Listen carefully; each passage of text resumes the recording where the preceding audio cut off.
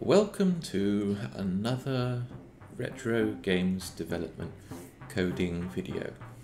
In this video I'm going to cover how I started with an idea for a game and developed the code with a unified behavioural testing strategy. This code development and testing strategy allows me to prototype the behavior of the code that I want first, and then target those test cases with efficiently written and well designed code. These test cases can then be used as a basis for future regression and integration test cases to lower the amount of manual testing that I need when I implement the finished product. This also gives me confidence that any code changes that I make will still work according to the test scenarios and also allows me to cover things like performance testing of the code. So how for example, do I go from an idea to finished code? In this case, the idea was that I wanted to do some kind of game which was a, a little bit like Citadel by Martin Walker because it was a great inspiration for me when I was actually growing up in my later teenage years in trying to become a games software developer. So I had this idea that I wanted to have a top down scrolling kind of maze navigation type of game, which you can see an early demonstration build here. And to accomplish this, I needed to have various different technical components completed. And one of the significant technical components, beyond doing all of the, the scrolling and the sprite multiplexing and the sound effects and everything else, and the tape and disk loaders and the cartridge code, which is all basically a solved problem because all of this code I built up already as part of earlier games development work on uh, the Berzerk game and also the uh, uh, re-engineering of the uh, entire SEUCK engine to provide much better performance.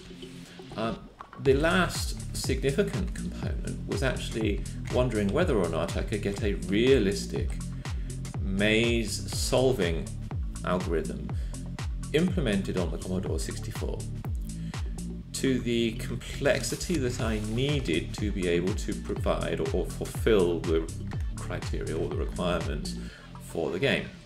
You can see here that the, most part, the, the scrolling mechanism with the sprite multiplexer worked really well, but getting the enemies to move around realistically, this maze, with some quite complex maze solving algorithms was, was my last hurdle. Because the maze solving functionality was going to be really quite complex, I wanted to make sure that I developed the code in an efficient way, but also in a way which ensured that the code was behaving correctly and within the performance characteristics that I needed to be able to fit within the rest of the game. To do this, I decided to use my BDD 6502 based framework. This framework utilizes a, a methodology called behavior driven development testing, which is where test cases are actually described in terms of basically English language test cases, like this example test case shows, where you specify some setup criteria, the usage of whatever you're testing, and then you test expected output results. But because the test cases are expressed in terms of an English language that can be readily understood, it's a lot more maintainable, I find. and it allows you to create test cases which express the behavior you want and it, and it allows you to iterate on the design of what you want to accomplish without getting bogged down in writing the wrong code and then iterating on the wrong code and going down uh, diversionary paths or, or disappearing down a rabbit hole, for example. So this web page by uh, the Cucumber team describe what is BDD in a lot more detail. But even though I'm working on this as a solo project, it still helps me to target the code that I want to write to test cases which have already been written. So I started writing the test cases for the, for the functionality that I needed to see within the game. And the first test cases looked like this. I will zoom in a little bit so it's a little bit more readable. So this starts off with a feature file and then a short description about what it is. And then I started to map out each individual scenario. Now I iterated on these scenarios. Actually, I started out, I think, with uh, something like this, which is where I, I specced out a very simple maze with a start position here. This is the start position, and then this is the target position. As you can see here, I've got this maze and a starting point at and a target point x. Self-explanatory, right? The unit plots a route and then the test case validates that the cheapest route is going to be down, down, right, right, right, right, right, and then up, up, down, down, right, right, right, right, right, and then up. Uh, how many rights? One, two, three, four, five. Because we go down. One, two, three, four, five, and then up two. And this is the expected criteria for the maze solving algorithm is that it will have a number of iterations to try and find this route because I knew that the maze solving algorithm cannot do the work all in one go. I knew that the maze sol solving algorithm would need to batch up the solve into smaller chunks of work so that I can use these smaller chunks of work as and when the Commodore 64 has enough time during its frame when it's not doing all of the other work for scrolling and maintaining the multiplexer and firing bullets, for example, and so on and so forth, and playing music and sound effects and things like that. So there's going to be some wasted time here where the code is just waiting for the next VBlank or the screen split, for example. I wanted to use the maze solving algorithm to batch the solving into this potentially wasted code or potentially wasted CPU execution time, uh, but then to use it more efficiently. And this also allows the game to, if it's in a busy period, it won't spend so much time solving the maze. But if there's quite a lot of free time, for example, the player is stationary and not doing much, then the enemies are going to get a lot more time to solve their routes and they're going to move and seek out the player. And then that makes the player move around and run away, and then the enemies are going to have a little bit less time to do their calculations. So that's what the iterations are. And then it will also take a number of frames, if you like, to, to solve this. Now, because this maze is, it has a very linear path, the iterations and frame count are going to be the same. However, on this maze, for example, it's got a branching point where the maze solving algorithm will start from here and then it will iterate through the available spaces until it hits here and then it starts off two simultaneous solves until it tries to get to the endpoint. It doesn't know which direction is going to result in the endpoint until it actually finds it. So here it splits into two. This is why the number of iterations is higher than the final solved frame count. And this is why the maximum depth is 2 for this maze because it's got a branch point here and it's got two maximum simultaneous solves going on. So this test case, these test case, these test scenarios define the criteria for the algorithm that I need to use within the game. And then what I did was that I implement, first of all, implemented the algorithm in Java, and then Java would run these test scenarios to ensure that the code was going to work. So if I show you what the Java code looks like first, then you can see what I'm talking about. So if I go here, this is IntelliJ, it's, it's a standard Java development environment. And we start off with this maze here.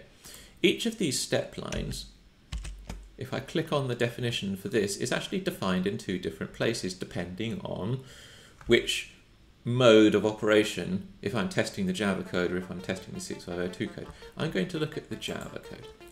In this case, the Java code defines the syntax that you want to match within the test case, and then it has an implementing member function. And then these functions are then going into a common maze piece of code here for the Java code. And this just takes the input maze and then it populates the input maze into the solve class, which has an internal representation of the maze that it actually wants to, to solve within the grid class. Yeah, so if I go to the grid, right, we have a whole bunch of nodes, and each node is a specific part of a specific. Each node has a uh, number of flags to detail what kind of node this is, how blocked it is, for example, uh, the travel cost of traversing over this node, whether or not uh, the node has a final direction of up, down, left, and right when it's solving and so on and so forth. And this Java implementation of the code is fully tested by these test cases.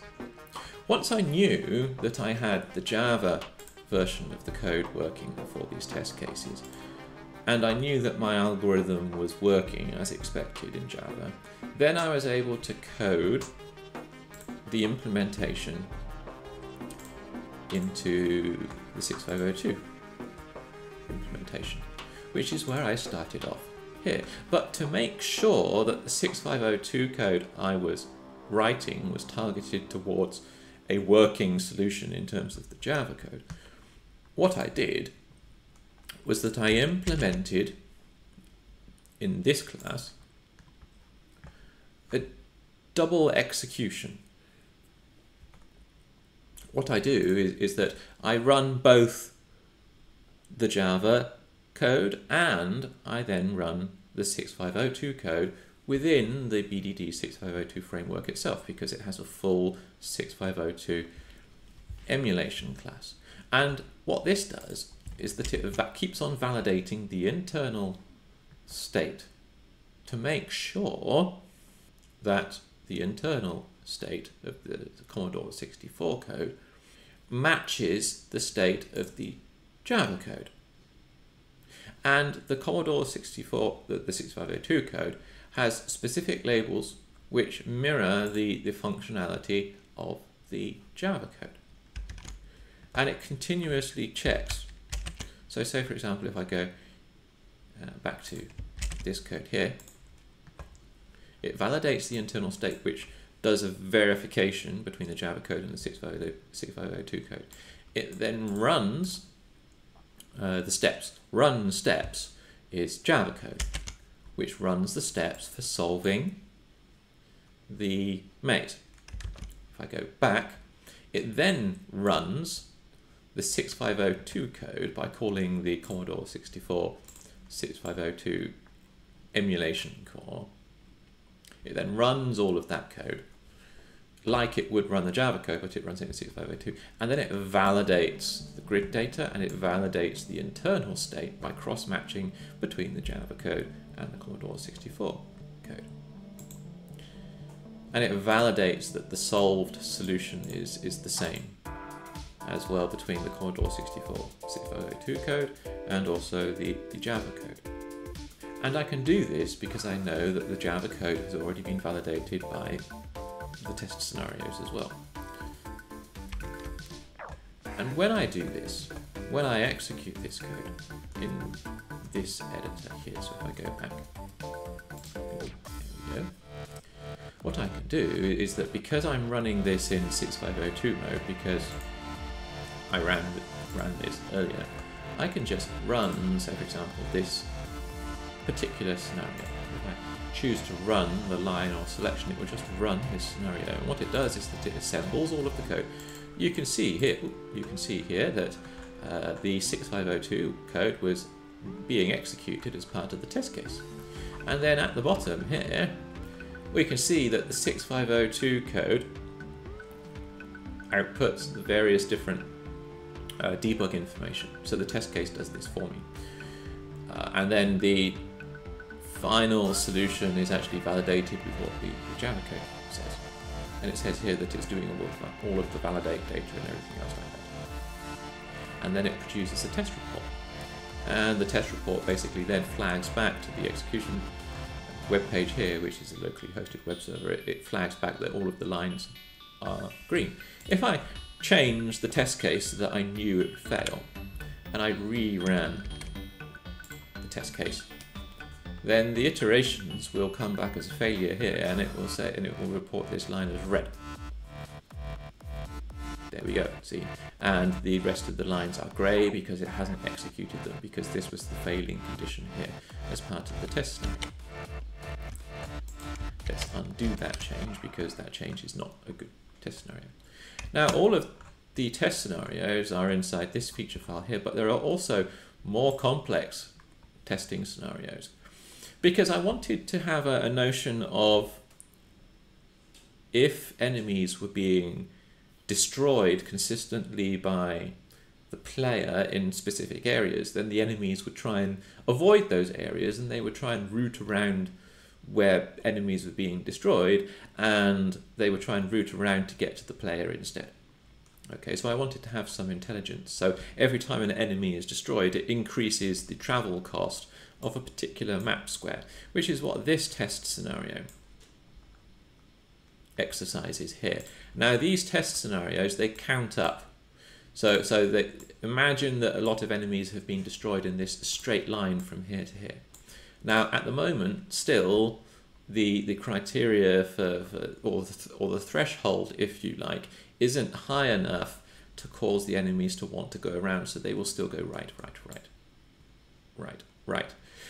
Uh, and here, the threshold is high enough that enemies will then begin to start to route down and then right and then up again. And this is what the test scenarios here describe because the cheapest route now is down, down, down, right, right, right, right, up, up, up, instead of the cheapest route being here for the same maze. And then this just validates that the cheapest route is still here.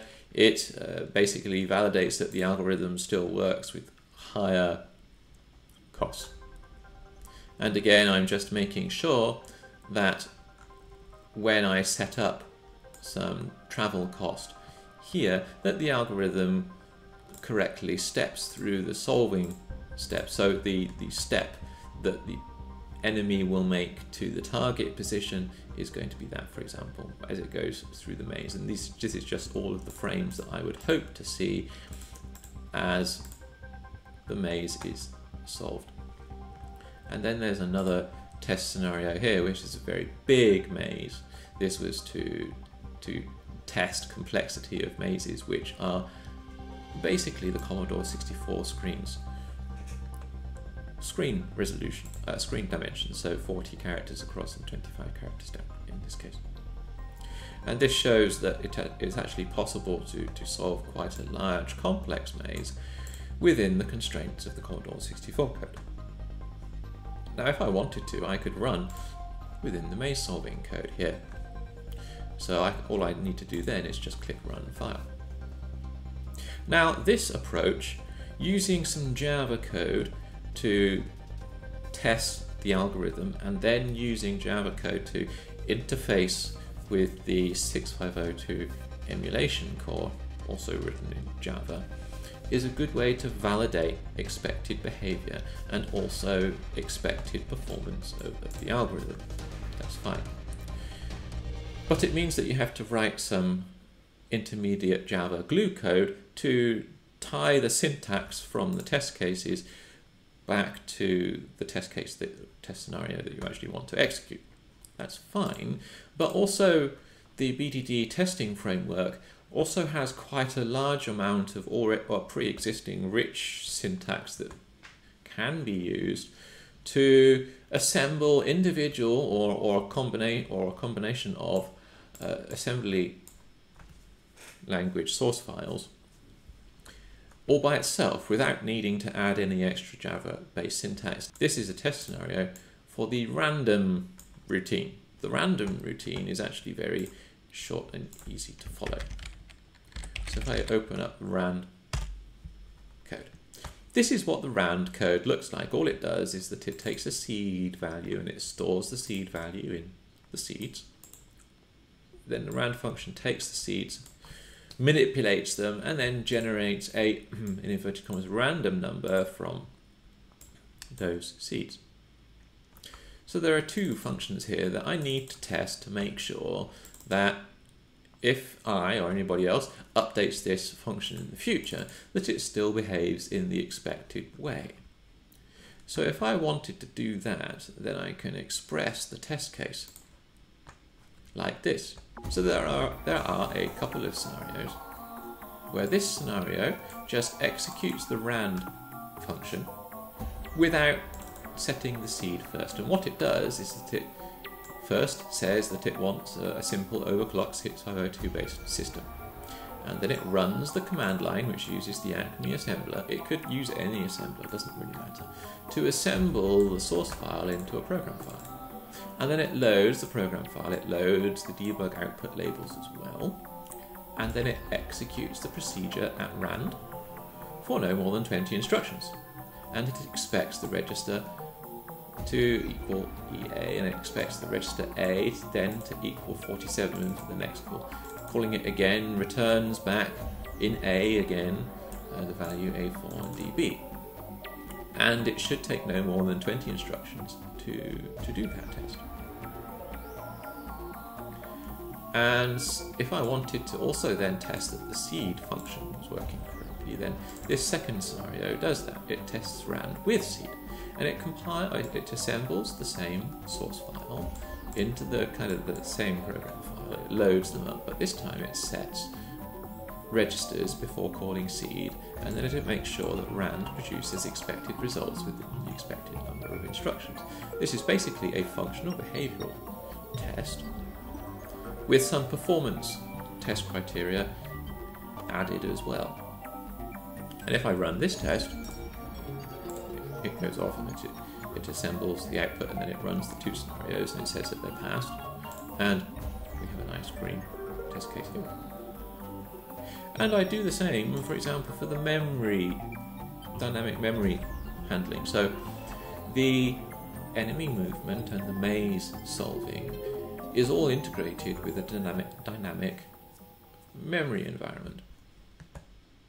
And each time an enemy requests for a route, it goes off and it runs the job of solving the, the route for the maze. And then once the job is finished, it will then put the solved movement into a dynamic memory block so that then the enemy can then execute this movement over the next few frames. Now, enemies will simultaneously move around map. You can see that a lot of them are moving around here. And all of these movements are stored within the dynamic memory system. And then once they finish moving, it frees that dynamic memory block and it allows it to be used by other enemies. Oops, I collided with one there. I can also shoot them like, oops, like so. Uh, there's quite a lot of debug shooting going on here. Now, this dynamic memory routine, I also wanted to make sure that it was working. So again, I followed the same kind of model where the memory code is implemented as just straight Java code, which is implemented as part of the actual class itself. So it, it implement, it's got a buffer and it checks the heap, for example, to make sure that the, the, the heap block lengths are consistent and expected. And the algorithm, because it was implemented as Java first, it was easier to, to implement and to debug and to target the code to the test case first.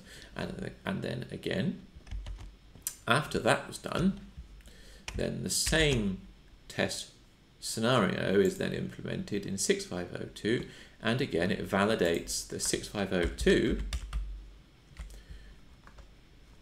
for example it, it, it, uh, sets up what it does is that it checks to make sure that the execution of the 6502 code internally in the emulator matches again the execution of the Java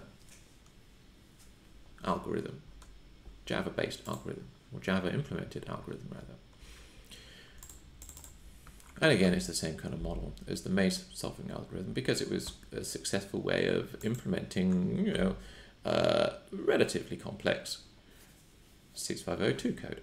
Now, the advantages that I have of this kind of model uh, should be pretty much obvious, but basically it means that I have a bunch of test cases that define the execution criteria and the execution behavior of all of these different algorithms. And then if I optimize the algorithms or if I uh, accidentally make some changes to the code, then these test cases will find out if there are any problems with the changes that I make to the code. It means that when I'm developing the game, I know that I have high confidence that the code individually is, is working as expected. So if there are, are any bugs, it means that I don't have to go hunting into areas of code which uh, I know that have been tested properly. It means that the bugs will probably exist elsewhere. Now, this model was also extended to the animation system. This animation system test case, what it does is it, it, performs routine tests using uh, known data for the animation system. It creates animations at known positions with screen characters at known points for, for collision tests. It then moves the animations at known velocities, oh, there's a typo, and in combination with screen pixel scroll values and then it tests for animations hitting the screen collision points and animations being deleted as expected. And this animation test case here again has a quite a large complex background step first of all and this what it does is that it assembles up the animations stub source file it then loads all of this well first of all it populates some screen data with some characters to collide with. It then executes the procedure. It checks to make sure it doesn't take too many instructions, but also importantly, it expects the cycle count to be no more than 80 cycles. This is 6502 based cycles. It then checks to make sure that the animation internal memory tables contain expected data after they've been cleared, for example. It then executes some procedures functions for finding a free animation slot and it checks to make sure that the output, that the result, the behavior of the algorithm is such that it validates that it's behaving correctly. So in this case, I want the register x to equal zero.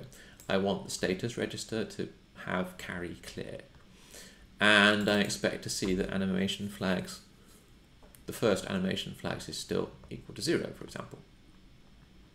I then execute the procedure for initializing the animation, the returned slot for the animation. I then initialize it with a, with a specific type. All of this type code here is, is set up by the animation stub function. So if I go down to here, you can see that I have set up a whole bunch of, or a couple of animation types. Here, there are two animation types, animation data 0 and animation data 1. This is just basically a couple of stub types to make sure that the animations are being created correctly and it's, it's known data in should equal known data or state out. This is what the test case keeps on validating.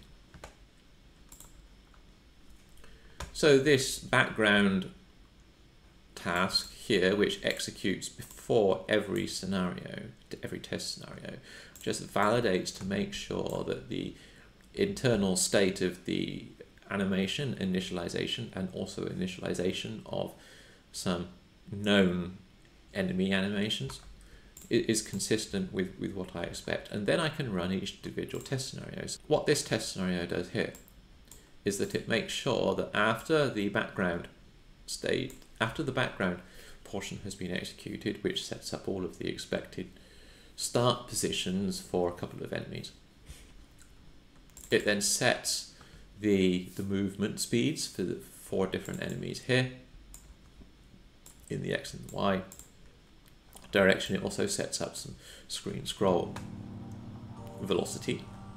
It then calls update sprites, which then validates to make sure that the four different enemies have updated their positions as I would expect by updating the values inside the data tables in memory. And I keep on doing this to make sure that the en enemies keep on moving. They might not be enemies, actually they might be um, they might be bullets or explosions or something like that. Let's go check. Oh, okay. So the animation, the animation frames cycle around. Uh, they collide with the characters on the screen, and they are a pickup type. So in this case, uh, because it's flagged as pickup type, then the logic for the animation routine will basically kill the objects once they collide with some background characters. Okay.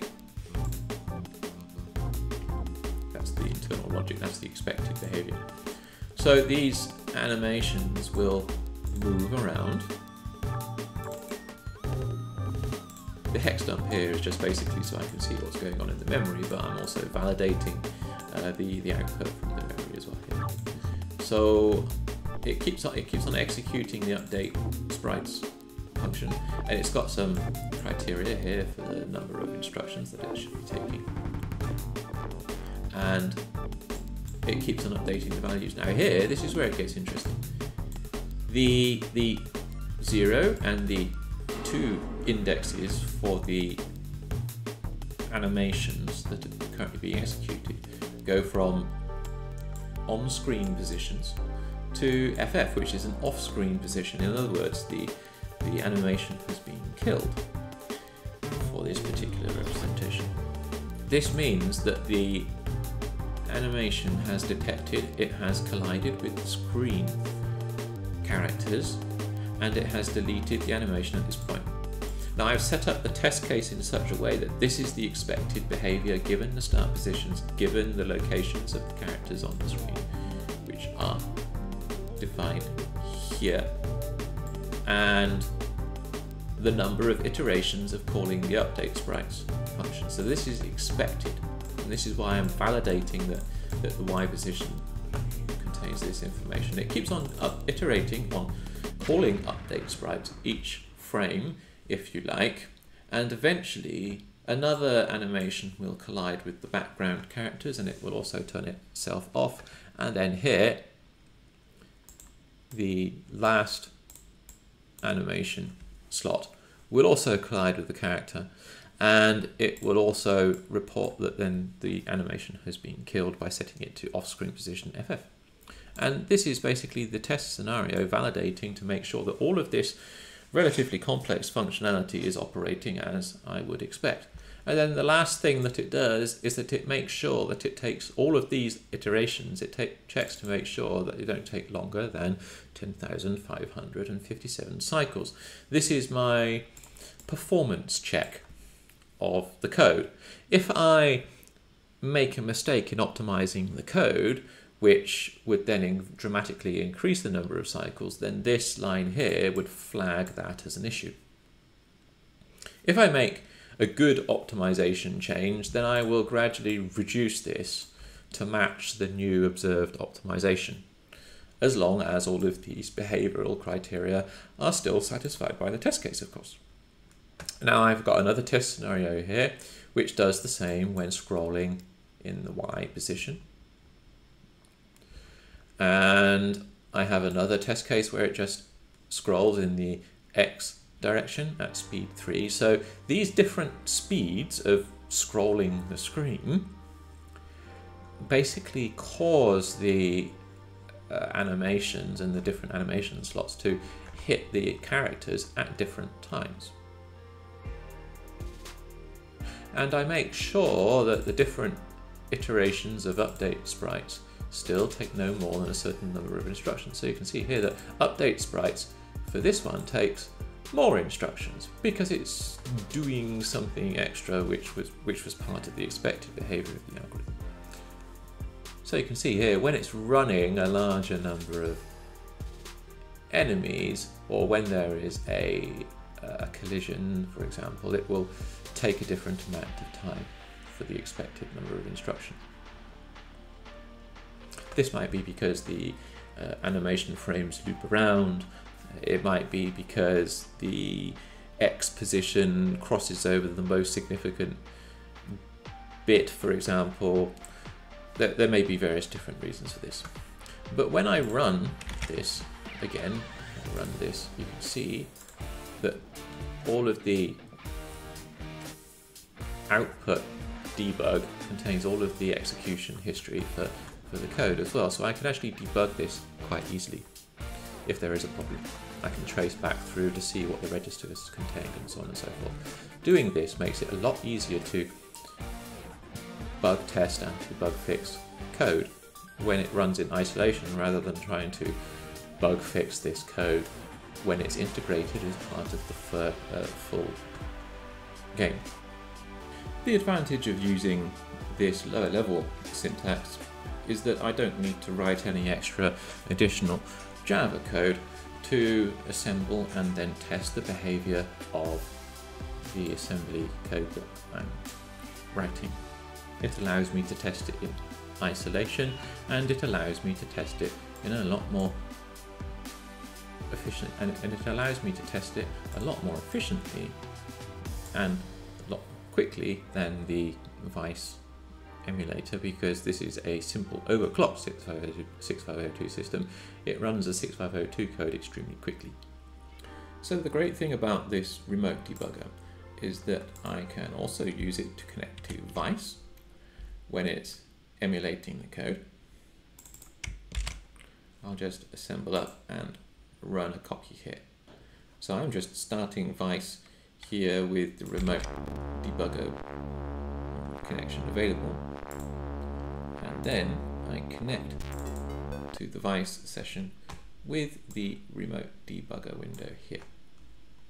And of course it stops the execution as you would normally expect. And what I can do is that I can set up a break on maze solve step. Maze solve step is the work function which does a step of maze solving. I then just click go. Now, I then go into the game, and then quite early on, it has stopped. I'm going to make this window a little bit, oh, I can't do that at the moment because it's, it's stopped on a breakpoint. If I click go, and then click go again, and then click go again, it's doing quite a lot of steps at this particular moment in time. Let's uh, delete the breakpoint and then go, there we go. Okay, so what I'm going to do first is that I'm going to change the VIC settings so that we are on normal borders. There we are. And then I'm going to set a breakpoint on maze solve step. Okay. There we go. Now, maze solve step, once the Vice emulator starts running that code here, you can see in the source level debugging that it's gone into maze solve steps. And what it does is that it goes to JSR FIFO size. I can step over, I can, it does a compare, it checks to make sure that things aren't empty. If it's not empty, it removes one of the FIFO buffer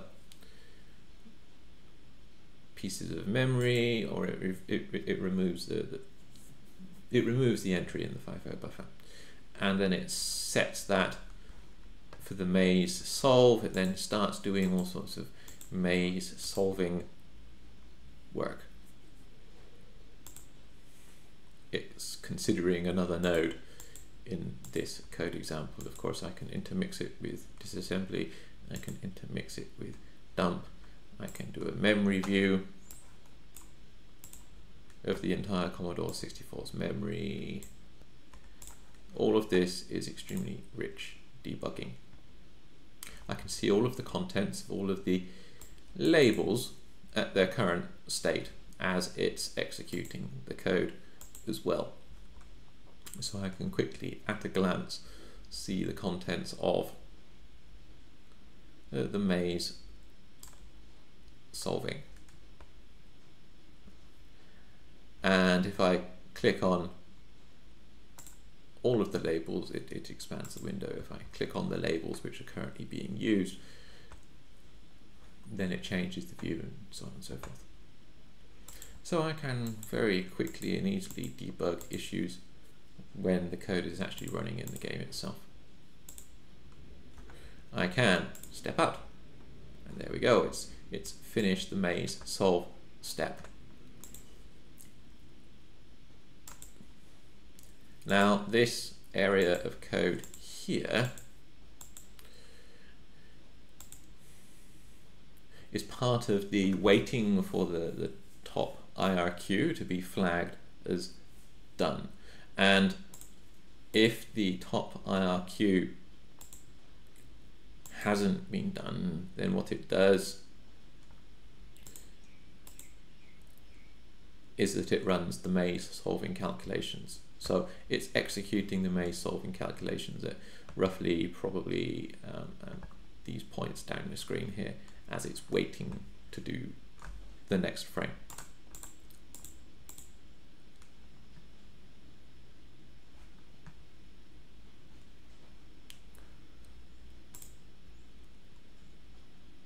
So I can delete that breakpoint. I can then continue going. What I can do is that, of course, I can of course just break the game wherever I like, and I can ins inspect the code as it's as it's executing. So I can step out, step out. Here we go. I can uh, show a history of the execution. Bink. It's getting the last 500 instructions at the moment, which takes a little bit of time, but it then also has like an indented view of all of the history of the execution. I can see where interrupts happen, I can see where the interrupts return, I can then see where it starts executing code outside of the interrupt again, inside what we call the main line, usually. We can see all of the, the, the stack position and everything like that very, very useful, this, this debugging tool. What I can do is that I can view the characters. These are the character sets. I have a character set here for the title screen and the score panel. Uh, I should have a character set somewhere down here as well. There we go. This is the character set for the level. I can also view the screen data. So if I remember rightly, the screen memory is after the character set here. And then the character set itself is at C00. And there we go. And there we go. So the great thing about this BDD 6502 framework is that if I really do have trouble trying to diagnose what the issue is just by looking at this execution history here, as it executes the test scenario, what I can do is this.